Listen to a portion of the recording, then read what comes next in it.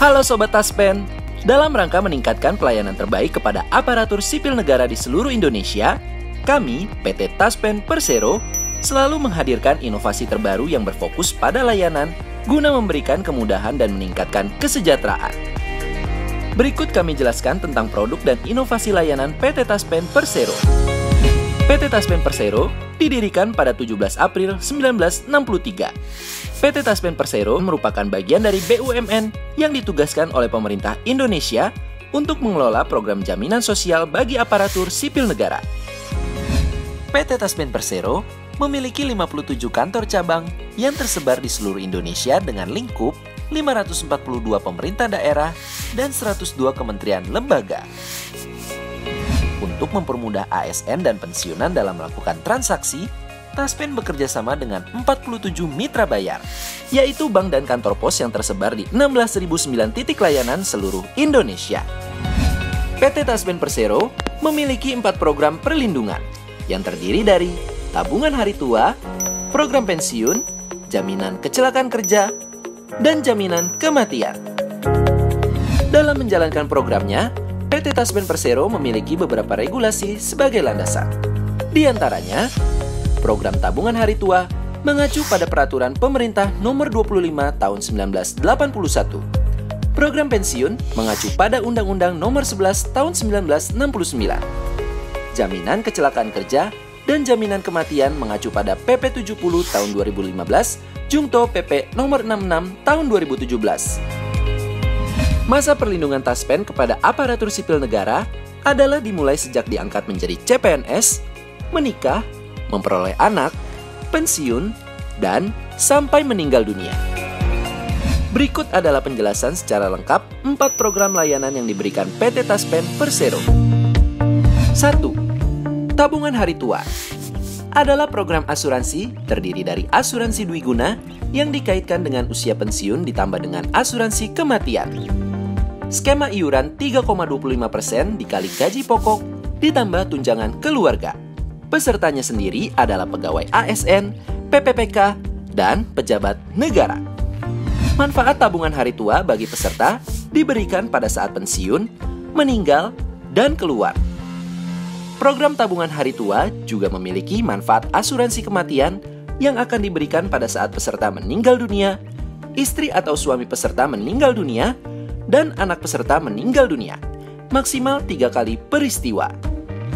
2. Program pensiun adalah program yang memberikan penghasilan kepada penerima pensiun setiap bulan sebagai jaminan hari tua dan penghargaan atas jasa-jasa pegawai negeri selama bertahun-tahun bekerja dalam dinas pemerintah skema iuran 4,75% dikali gaji pokok ditambah tunjangan keluarga.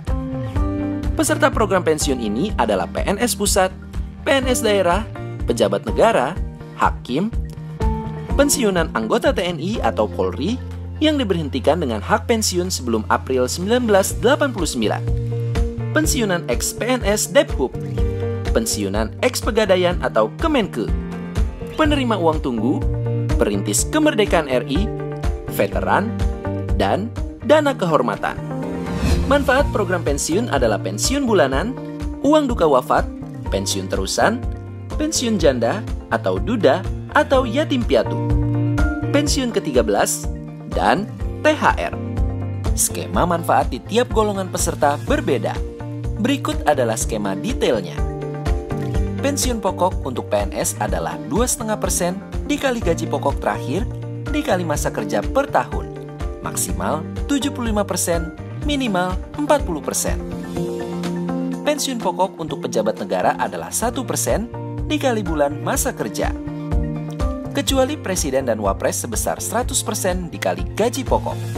Maksimal 75%, minimal 6%. Besaran pensiun pokok tersebut belum ditambah dengan tunjangan istri, tunjangan anak, tunjangan beras, serta terdapat potongan askes dan pajak. Hak yang diterima apabila pensiun meninggal dunia. Uang duka wafat, tiga kali penghasilan pensiun terusan, pensiun janda atau duda mendapat 36% gaji pokok. Sedangkan bagi yang tewas, sebesar 72% gaji pokok. Ketika pensiun meninggal dunia, maka ahli waris akan mendapatkan hak-hak yang berupa pensiun terusan, pensiun janda atau duda atau yatim apabila pensiun janda atau duda meninggal dunia atau menikah kembali, uang duka wafat, dan asuransi kematian. Pensiun terusan diberikan kepada ahli waris selama dua bulan bagi pensiun duta besar luar biasa, selama empat bulan bagi pensiun PNS atau pejabat negara, selama enam bulan bagi pensiun TNI atau Polri atau veteran, selama 12 bulan bagi TNI atau Polri yang mempunyai piagam bintang jasa, dan 18 bulan bagi TNI atau Polri yang mempunyai bintang jasa pahlawan. 3. Jaminan kematian atau JKM adalah perlindungan atas resiko kematian bukan akibat kecelakaan kerja berupa santunan kematian. Skemanya sendiri dihitung dari iuran 0,72% dikali gaji pokok, iuran dibayar oleh pemerintah. Pesertanya sendiri adalah ASN, CPNS, PNS, PPPK, kecuali ASN di lingkungan Kementerian Pertahanan dan Kepolisian Republik Indonesia, pejabat negara, pimpinan anggota DPR, dan pegawai pemerintah non-ASN. Manfaat jaminan kematian antara lain santunan sekaligus sebesar 15 juta, uang duka wafat sebesar 3 dikali gaji pokok, bantuan pemakaman sebesar 7,5 juta, bantuan beasiswa sebesar 15 juta per anak, maksimal 2 orang anak. Hak beasiswa ini diperuntukkan untuk peserta yang telah memiliki masa kepesertaan 3 tahun. 4 Jaminan Kecelakaan Kerja atau JKK adalah perlindungan atas resiko kecelakaan kerja atau penyakit akibat kerja berupa perawatan, santunan, dan tunjangan cacat. Skema iuran sebesar 0,24% dikali gaji pokok yang dibayarkan oleh pemerintah. Pesertanya sendiri adalah ASN, CPNS, PNS, PPPK. Kecuali ASN di lingkungan Kementerian Pertahanan dan Kepolisian Republik Indonesia pejabat negara, pimpinan atau anggota DPR, dan terakhir pegawai pemerintah non-ASN. 13 manfaat yang didapatkan dengan mengikuti program jaminan kecelakaan kerja yaitu 1. Biaya transportasi yang meliputi perjalanan darat sebesar Rp1.300.000, perjalanan laut sebesar Rp1.950.000, dan perjalanan udara sebesar Rp3.250.000. 2 Cacat sebagian dengan skema anatomis persentabel dikali 80 gaji. 3. Cacat sebagian fungsi dengan skema persen penurunan fungsi dikali persentabel dikali 80 gaji. 4. Cacat total tetap dengan santunan 2 tahap, yaitu perlindungan sekaligus 70% dikali 80 gaji. Dan santunan berkala Rp250.000 dikali 24 bulan. 5 pensiun karena cacat dengan skema persentase cacat dikali gaji atas berkurangnya fungsi organ, maksimal 70%. 6. Biaya pengobatan sampai sembuh. 7.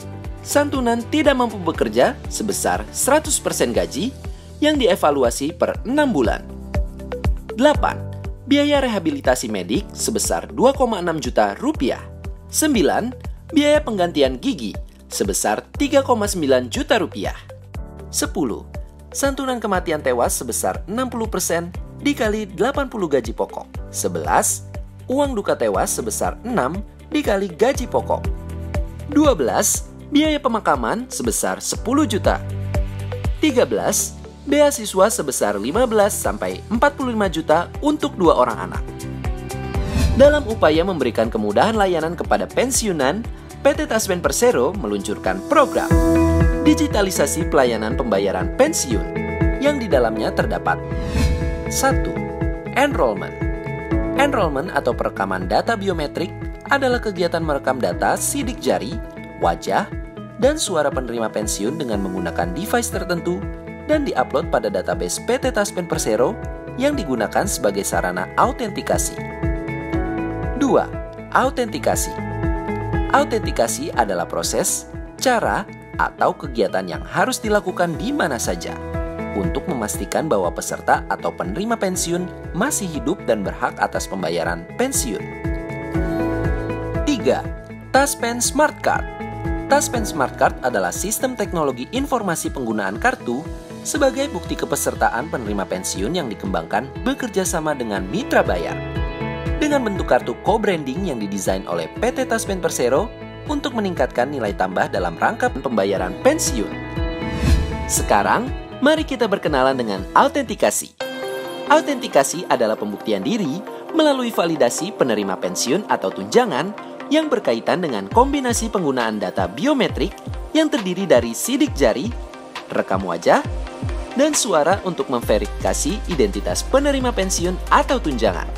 Akan tetapi, sebelum autentikasi, peserta pensiun memiliki kewajiban untuk melakukan enrollment yang merupakan perekaman data biometrik. Autentikasi 123 pada PT Taspen Persero adalah sistem berkala yang dilakukan sebagai berikut. Autentikasi satu bulan sekali bagi penerima tunjangan veteran dan dana kehormatan. Autentikasi dua bulan sekali bagi penerima pensiun PNS, pejabat negara, TNI atau Polri yang tidak mempunyai tunjangan keluarga. Autentikasi tiga bulan sekali bagi penerima pensiun, PNS pejabat negara, TNI, Polri yang masih mempunyai tunjangan keluarga. Sampai saat ini, sudah banyak inovasi yang telah diimplementasikan pada pelayanan PT Taspen Persero.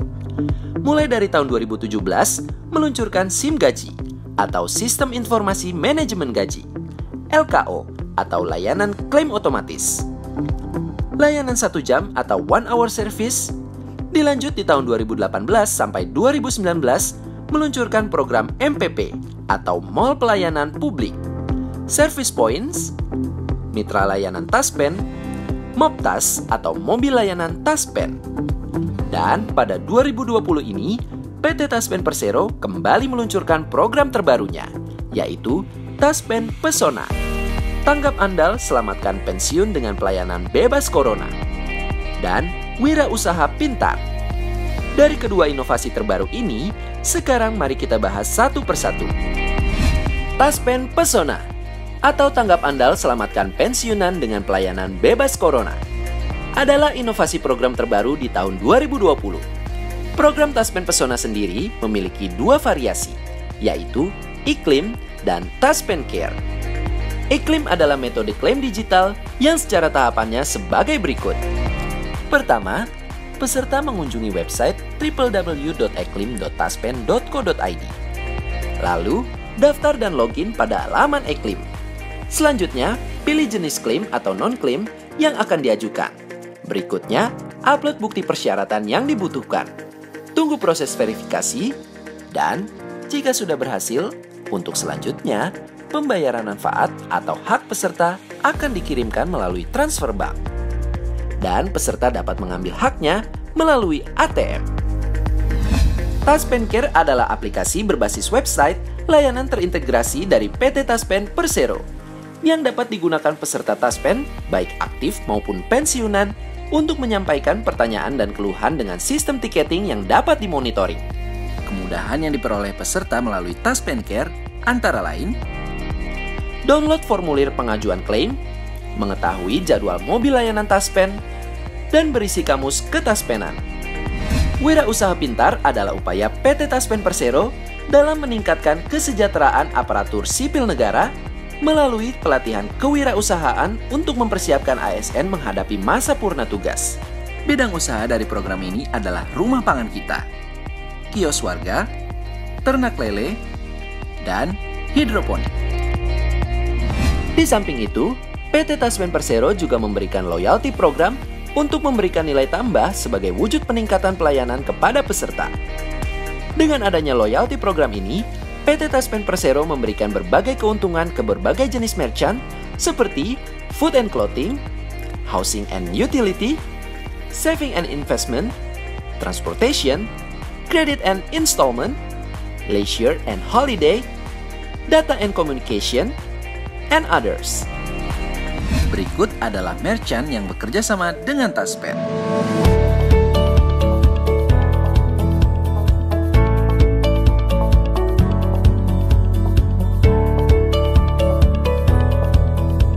Dengan layanan terbaik dan inovasi kemudahan, Taspen akan selalu menjadi pelindung aparatur sipil negara yang aktif maupun yang sudah pensiun.